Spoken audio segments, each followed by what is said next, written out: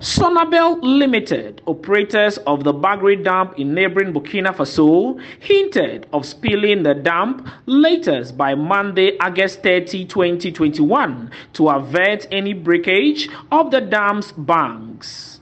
The annual spillage of the Bagre Dam results in displacement of residents, destruction of crops, and in some cases, drowning of people to death. As part of efforts to respond swiftly and mitigate the impact of the spillage on residents along the White Volta, the National Disaster Management Organization NADMO led a team of the 48 Re-Engineers Unit of the Ghana Armed Forces to assess the current situation of the water levels at the confluence of both River Kolpelga on the Red Volta and River Bagri on the White Volta at Galaka in the Bawku West District.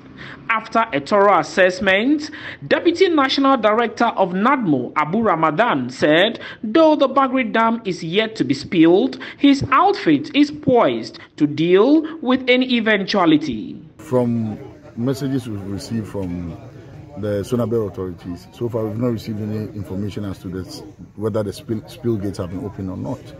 Uh, but in anticipation of that, we're still putting uh, putting works in place to make sure that when the spillage starts, we won't have the problems we've been facing in the past.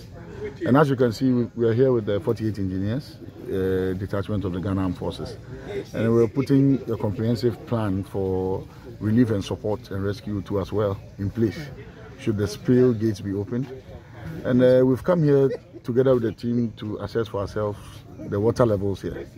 Normally, we are a little concerned when the water levels are high here and the spillways are open. The larger impact to as well. But I, I would say so far we are happy with the water levels here. It's not it's not that threatening. Where we are much worried about is downstream. So the entry point into the country shouldn't shouldn't be a problem. We we will rather focus attentions on the situation downstream, moving away from here. Mr. Ramadan said it would be difficult to negotiate with authorities of Burkina Faso to spill the Bagri Dam in bits in order not to cause havoc along the White Volta, but was optimistic the construction of the Poalugu multipurpose dam will help mitigate the impact of the annual spill. The Burkina Faso authorities spill as and when the water fills, based on the filling rate, based on the amount of liters per second that the dam accumulates that translates into quantities they must spill. And in some days, if you last year, see when they when they spilled, some days they were spilling 63 million metric tons of um, or gallons per, per second, and in other days they reduced it. In some days it went as high as 620 uh, gallons per second.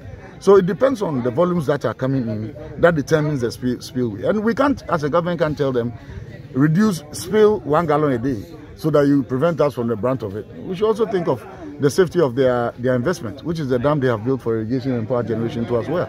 So we can't we can't be selfish, but we can just as much as possible try and put in measures to make sure that when it comes, we will be ready to to, to, to, to absorb the impact of it. It's a problem that we can't run away from. So long as nature would always come hitting at us, we can't run away from it. And as government has committed to putting a dam in Pwalugu to help hold the water, to reduce and minimize the impact of it so that we can make good use of the water that's coming. I'm sure that is one major solution to, to the problem and, and that is on course to, to, to be resolved. Regard, even if the dam is there, won't prevent areas from, being, from, from getting flooded. Communities will still flood, communities will still be cut off, but we'll, we'll end up getting benefit from from the spillage itself, from the Bagre Dam itself, by getting that water for irrigation and production of electricity and all. Some farmers of Galaka who farm along the White Volta told Citi News they were ready to leave to higher grounds, but appealed to the government for urgent support. Kore mo'on mo'on mo'la. So ko maka ko makana la. O sam la gata me tu mak. Tu mon la etugo. So ko me ko maka ko tibelen ki mok kuin ni tibeni yan su tu su ti la ti kewele na ka a aban yan song ti dim nam ka ti di. Tinu mu mebo yol ko mo de fa wani bi sey la dum ya la da de timi wa tinu on sam la amma ti fa ti bi mal ka. O ti tinin danga ka libi bi sey ona yel ka ti ka fa ba ona yete tinabe ko ni le. Ai sai ti tep ni di ka go onan engse ti itu kege. Ya kwelni la ode tene zodo ya amma ya ye ya la ode tun jimi ka godo do tun yani eh o ti riba ko o asam ba mo sungura ti tilina na mo sungura ti ka ti dwina am yete yelego ka tun kwele mo tun dib gat yala NADMO's National Deputy Director Abu Ramadan assured that they have enough relief items to support persons that will be affected by the spillage. All 16 regional offices of NADMO, we've stocked them. As I'm talking to you, even now, there are some regions that have not even finished collecting their relief items from the uh, from the headquarters warehouses. So, so we've released. We are ready. We are ready with relief items in all the 16 regions, and I can assure you, Regions that are heavily impacted and they run out of stock will rely on other regions that, that have stock.